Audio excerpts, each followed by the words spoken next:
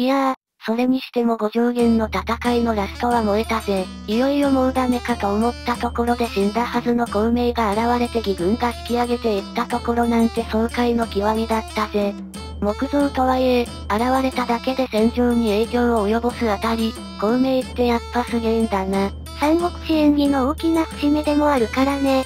物語後半の主人公の孔明が退場して、残りの話で全ての終わりに向かっていくのは寂しくも感じたわね。でも歴史的に見ればやっと半分。三国志は学べば学ぶほど面白くなるし、読み応えのあるものになっていくわ。だけどさ、医療の戦いの後からの語ってなんか地味だよな。孔明と芝居の戦いがメインになっているからか、石帝の戦い以外いまいちパッとしない印象だぜ。じゃあ、今日はそんなマリサに、語を中心とした話をしてあげましょう。そうね、超指定について語ろうかしら。今回は女なんだな。超指定は甲州急進軍、今でいうベトナムのタインホア省にあたる場所の人で、ベトナムでは英雄として祀られているわ。この名前の他にも、女王、バー長、朝廷上、といった呼び方があるわ。さて、この超指定の最たる特徴なんだけど、呂布や張飛に負けないぐらい武勇に秀でていたとかか。おっぱいがめちゃめちゃでかかったわ。は、おっぱいがめちゃめちゃでかかったわ。は、おっぱいがめちゃめちゃでかかっいや、それはもういいんだけどさ。どういうことなんだぜ。ベトナムの歴史書、大越式全集によると、上指定の乳房の大きさは3尺に及んだそうよ。3尺だと約70センチぐらいか。そしてそれが2つ。両胸に私とマリサが1つずつついているようなものよね。そしてそれが鎧に収まらなかったから、鎧も特注だっただろうな。肩から背後に回していたそうよ。いやそこは鎧を特注してもらえよ。身長は9尺、約200センチ、象を操る戦乙女だったそうよ。戦乙女というか、アマゾネスなんだぜ。超指定が生まれる前の公衆は名目上は語の支配下にあったけれど、師匠という名君によって半ば独立した勢力を築いていたわ。師匠の死後は完全に語の支配下に置かれるのだけれど、公衆とご本土との溝を埋めるには至らず、そのギスギスした関係の中で超指定は育ったの。長老の時と違って、穏便にはいかなかったんだな。公衆にとって尊権はよそ者みたいなものだったからね。大軍に不満を持った師匠の息子が反乱を起こし、鎮圧された後に処刑されたのも大きかったと思うわ。さて、上指定が23歳になった石油11年248年、兄の彫刻達と共に反乱軍を結成。この頃の後は、孫権の後継者争いが泥沼化して国は混乱を迎えていたわ。反乱軍が付け入るには絶好のチャンスだったわけ。彫刻達は超指定に対して、男に嫁ぐことを考えたことはないかと問いかけるのだけれど。私は、風を操り、荒波を越え、東の海のクジラをも殺す戦士。を駆逐し、山や川を取り戻し、奴隷の鎖から解き放たれるためならば、今ここで膝を屈して男に嫁いでなどいられません。と高らかに言い返したわ。かっこいい、男らしい、男の中の男。しかし、これが後にあだとなることを、上指定はまだ知らなかったわ。え、来るべき決戦の日、超兄弟は少ない兵力ながらも巧みな戦術と増軍団の破壊力をもって御用を荒らし回った。主導者であった彫刻達が病に倒れると、その後を超指定が継いだのだけれど、彼女の勇猛さに反乱軍の士気はますます上がったそうよ。この時超指定は黄金の鎧を身につけていたとも言われているわ。事態を重く見た孫権は、反乱の鎮圧に陸員を派遣。半年余り続いたこの激戦は、彼の奇策によって一変する。やっぱり動物軍団相手だから袋小路に追い詰めて火攻めか。前座で出撃して恥ずかしがったところを打ち破ったわ。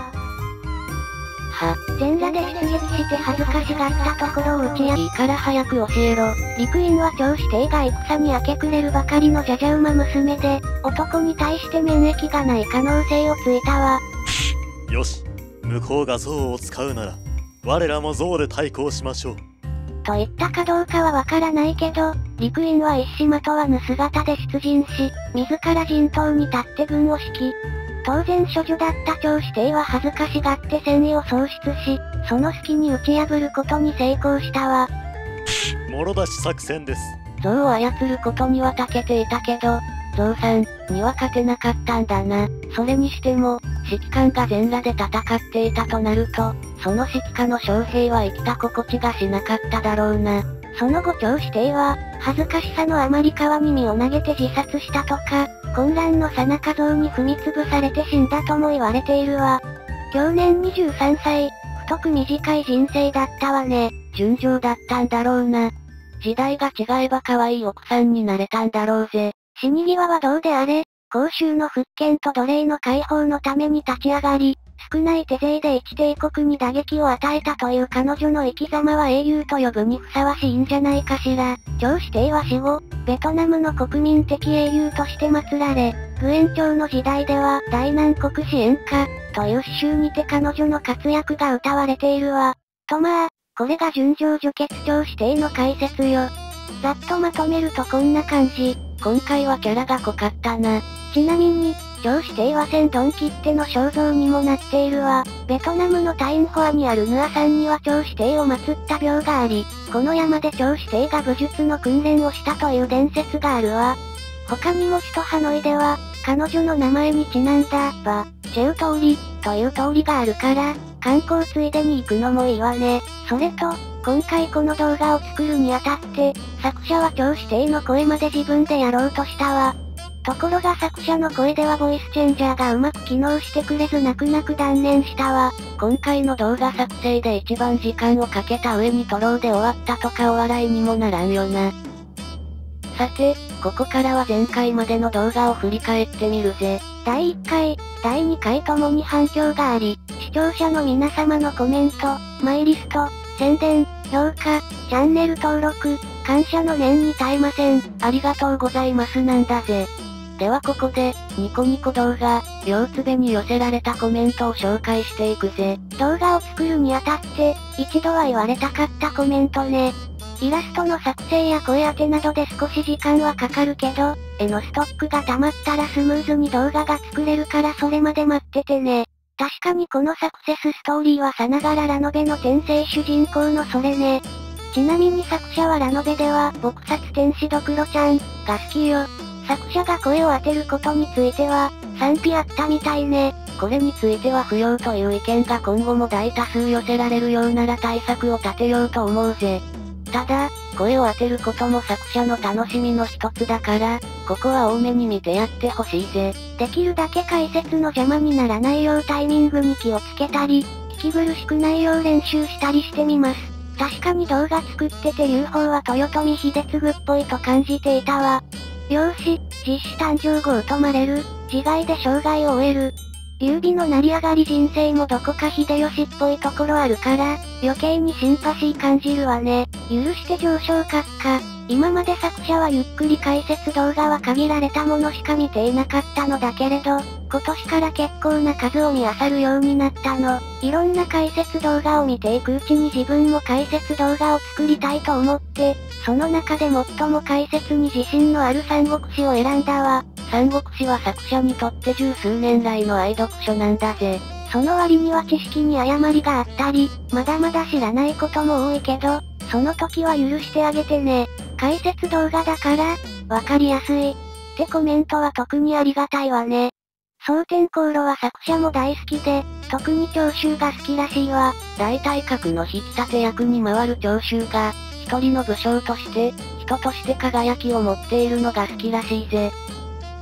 なあレイム、ニコニコや両つべの動画内でこの人物をやってほしいっていうリクエストが増えてきているんだぜ。そうね、動画のネタのストックは数回分あるのだけれど、これからはリクエストにも答えさせていただきたいと思うわ。ただ、解説する人物の勢力にできるだけ偏りを持たせないようにはしていきたいし、人物の何をもってマイナーとするかは作者の裁量なので、期待しないでゆっくり待っていってね。リクエストに答えられない時もあるからご了承お願いしますだぜ。次回の動画は、リクエストコメントの中から一人選ぼうと思うわ。これからもバンバン解説していくから、応援コメント、リクエスト、マイリスト、ようつべでは評価、チャンネル登録よろしくお願いしますだぜ。